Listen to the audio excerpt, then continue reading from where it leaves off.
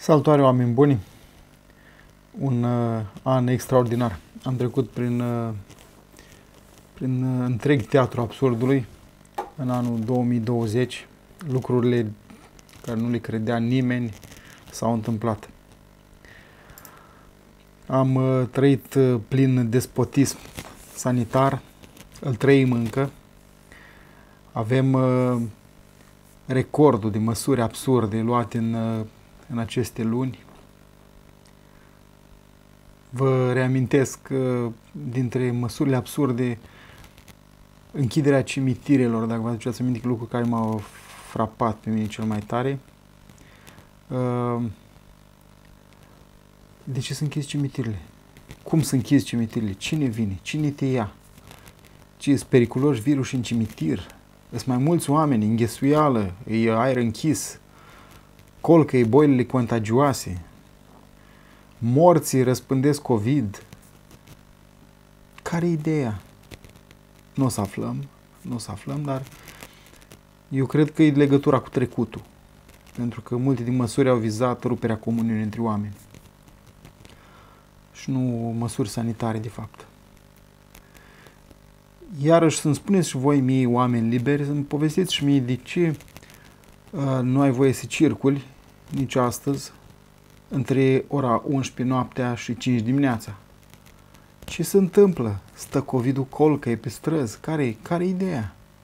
Să înghesui oamenii la, la COVID? Vă dați seama că este o formă de uh, arest la domiciliu între 11 și 5. Să-ți aduc aminte că tu ești arestat la domiciliu. Asta e ideea. Uh, dacă ar fi doar, uh, dacă ar fi vreo măsură sanitară, ar avea vreo logică. Aduceți-vă aminte când le dădea drumul celor în vârstă, peste 65, doar între 11 și 5. În rest erau arestați la domiciliu. Între 11, pardon, între 11 ziua și 1, uh, la amiază, între 11 și 1. Atunci era îngrămădeală maximă. Oamenii mergeau săraci să-și facă cumpărăturile. Și totul trebuia în două ore. Imaginează într-un mare oraș să te duci să-ți faci cumpărăturile, să te calci în picioare la supermarket cu ceilalți de, de, de seamă cu tine. Clar, clar a fost o, un mod de a, de a umili și de a, de a aduce aminte cine șeful, ei sunt șefii și sub pretextul vai ce le-au mai plăcut epidemia asta, vai ce le-au mai plăcut pandemia asta. Apoi ă, această aberație Uh, măștile purtate în afară. Eu personal nu port mască în afară, nu o să port, sunt hotărât să mă dea, de amendă, o să-i dau în judecată, merg până la capăt. Dacă nu s-o legat de mine până acum nimeni, nu suport ideea asta de a purta mască în afară. Adică uh, nu trebuie să ai studii medicale ca să înțelegi că îți trebuie o anumită cantitate de, de agent patogen ca să poți să, uh, să infectezi. Adică nu te, nu te infectează o bacterie sau un virion Îți trebuie anumită densitate. Densitatea asta afară, e, e, sunt, în afară se întâmplă o diluție infinită. Nu poți să, întâmpl, nu, nu poți să iei afară. Am văzut oameni mergând singuri pe stradă, era pe podul peste apa Sucevi, oameni care mergeau singuri pe o rază de 100 de metri, purtau mască. Mulți dintre ei, să știți că au ajuns să teamă. Au ajuns să teamă de, uh, din cauza că s-au, s-au uitat la televizor, la știri și asta a fost concluzia lor, că e ceva foarte periculos și trebuie aerul, aerul este, este ceva rău. A, a, aerul este contaminat. Cei mai mult se tem de cei care poartă măști, în oraș cei mai mult dintre ei se tem de, de poliție și nu de, de virus. Mi-au spus oameni. Mai este o categorie. Mi-au spus unii, mă tem să nu uh, mă linșeze ceilalți. Ai văzut cum se uită la tine de după mască? Să te mănânce dacă nu ai mască. Asta e situația, asta e, asta e realitatea. Măștile în afară, în, în aer liber, sunt o aberație. Pe lângă faptul că recent au fost, uh, au fost uh, considerate de către Curte de Apel, această obligativitate a măștii este ilegală. Așteptăm decizia definitivă. Sigur că da. În uh, carantinarea oamenilor, oamenilor sănătoși. Asta a fost iarăși un, uh, un lucru grozav. Nu, nu, nu știu să mai existe în, uh, în istorie carantinarea oamenilor sănătoși. Deci sunt purtători, uh, eventual poți fi purtători, dar ei, ei sunt uh, fără niciun simptom, înțelegeți? Adică oamenii fără simptome se cheamă oameni sănătoși. Înțelegeți? Deci nu se cheamă oameni bolnavi. Oamenii sănătoși au fost închiși în case pentru că un test spunea ceva despre un rest de ARN din nasul tău. Nu are nicio relevanță. Nu știi dacă este infectant, dacă nu este infectant. Că un virus de felul ăsta, ca să fie infectant, nu e suficient să aibă ARN-ul ăsta.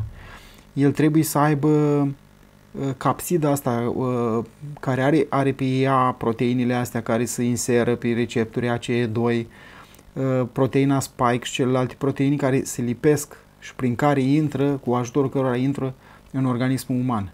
Dacă nu au acest apanaj, ele nu sunt infectante, nu pot intra. Degeaba găsești înăuntru, în centru, îți găsești materialul genetic, adică ARN-ul ăsta.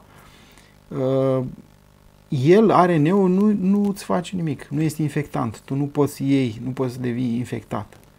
Deci cei, testele ARN, testele astea RT-PCR, care găsesc resturi de ARN, nu sunt concludente. Pentru că nu spun dacă tu ești infecțios sau nu. Spune că ai resturi de ARN de nu știu ce. Iarăși, ă, la testele astea s-au făcut studii ă, în, în Anglia, erau la, la Institutul ă, din Londra pentru medicină bazată pe dovezi.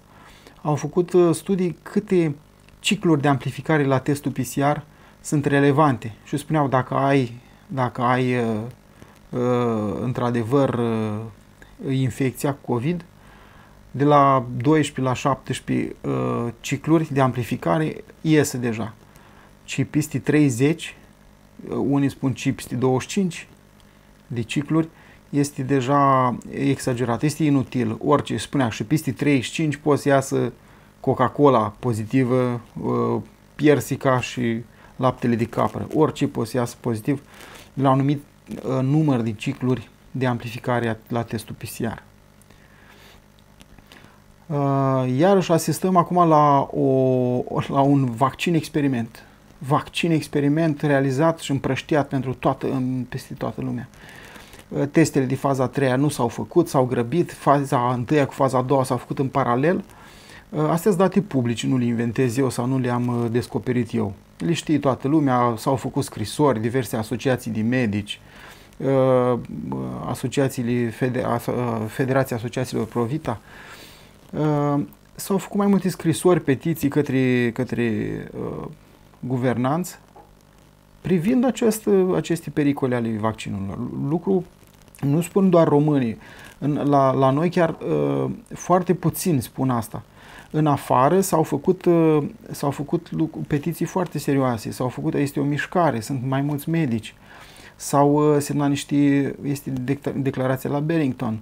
Uh, sunt mai multe mișcări în, în, în același sens. Nu sunt urechi să aud mișcările astea. Uh, două luni de testări pe oameni, pe, pe câteva, câteva mii de oameni testate, cu efecte adverse, cu morți după vaccin, a, a, recunoscute de producători. Și totuși au dat drumul pe piață. Și totuși nu știm cine transmite acest ARN, ținut la minus 70 de grade, nu știm ce mesaj transmite metabolismul nostru intern. Pentru că înțelegeți, oameni buni, ați înțeles mecanismul vaccinului ARN, da? Uh, ADN-ul nostru e o carte, un manual de utilizare. Ei, când vrea să transmit un mesaj, se copie un ARN, ARN-ul e uh, monocatenar, e singur, celălalt e dublu helix. Ăsta e monocatenar, se copii din ADN, din, din cartea de instrucțiuni și se dă un ordin organitelor celulare să facă o producție de, eu știu, de proteine, de nu știu ce. Ei, acest vaccin face așa. Face direct un mRNA, un, un mesager dintre ăsta, pe care îl transmite direct organitelor celulare să producă proteină spike. Deci noi producem, uh, teoretic, organismul celor vaccinați va produce proteină virală. Această proteină virală noi nu știm cum va, cum va funcționa. Ei spun că au cercetat-o. Nu-i cred. Două luni de zile nu e suficient. Uh, și spun că în organism, uh, celulele noastre B, secretoare de anticorpi, vor uh, întâlni această proteină și vor face brusc anticorpi la ea. Nu cred, nici asta nu cred.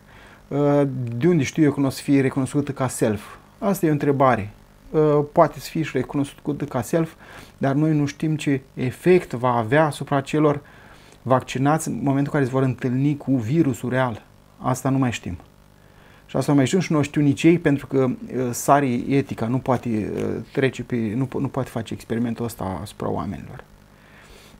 Practic acum se dă un, un, un semnal tuturor oamenilor de, vaccinați pe planetă să producă o anumită proteină. Asistăm la o colectivizare a metabolismului celular, o comandă genetică unică venită de la centru către, toate orga- către toți oamenii vaccinați și ei își fac un nou program metabolic de a produce o anumită proteină.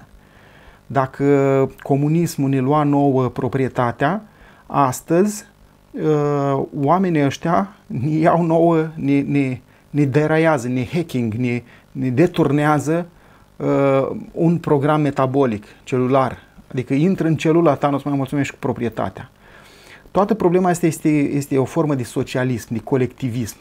Uh, în numele binelui comun calcă pe indivizi, pe om, pe valoarea omului. Omul nu mai are valoare pe, uh, în sine pentru ei. Uh, ați văzut ce isterie au putut să facă în numele unei boli care a, a, a, au reușit, a, au murit în jur de un, un milion și ceva de oameni pe, pe planetă. Gândiți-vă că ei au uitat să spună că în România, de exemplu în 2019, au murit în jur de 50.000 de oameni de cancer. Știe, știe lumea o să spună dacă cancerul nu e o boală transmisibilă, da, dar se poate face prevenții pentru ea? Face cineva programe de prevenții pentru cancer? Face cineva uh, o, o, o, o igienă alimentației alimentelor uh, pline de, de lucruri cancerigene, de, de, uh, în unele țări sunt interzise, la noi, la noi se folosesc uh, substanțe în alimente, sunt permise uh, lucruri care sunt știute ca și cancerigene uh, și în substanțe care în alte țări sunt uh, interzise. Deci de această profilaxie, inclusiv la COVID, nu se vorbește de, de niciun fel, formă de profilaxie. Uh, nu se vorbește despre uh, vitamina D. N-am auzit un program de, de, de suplimentat vitamina D sau de făcut o dozare a vitaminei D la toți cei vulnerabili. Mă refer la cei care au receptori aceia doi crescuți și care riscă boală să facă o formă de boală gravă, adică diabetici, hipertensivi, uh, să știu foarte bine deja, să știu situațiile de risc, să știu uh, care sunt cei în, în, uh, în situația asta.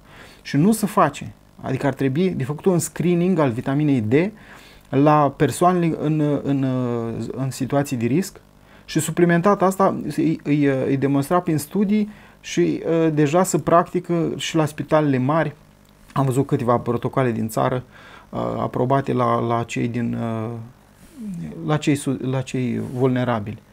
Și toate cuprindeau vitamina D, zinc, cuercitină și uh, alte substanțe. Adică o prevenție, o profilaxie, o profilaxie a formelor grave la cei vulnerabili. Asta ar fi absolut necesară.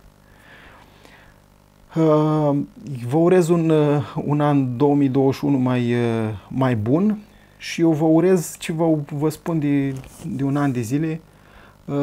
Scăpați de frică, oameni buni. Ei, puterea lor se hrănește din frica voastră. Din frica voastră se hrănește toată puterea lor. Faceți aceste exerciții de libertate. Stabiliți-vă până unde o să cedați suveranitatea voastră personală. Până unde? Uh, îți intră în casă îți intră în metabolism, când ai să te oprești? Când ai să spui nu? Când ai să te hotărăști să spui tu nu? Pentru că să știți că o țară e suverană dacă oamenii ei sunt suverani. Dacă noi avem suveranitate, libertate, independență, ca persoane, ca ființe, atunci întreaga țară va căpăta asta.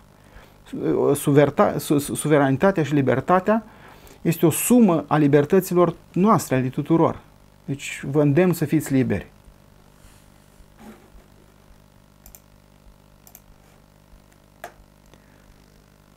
Vă mulțumesc!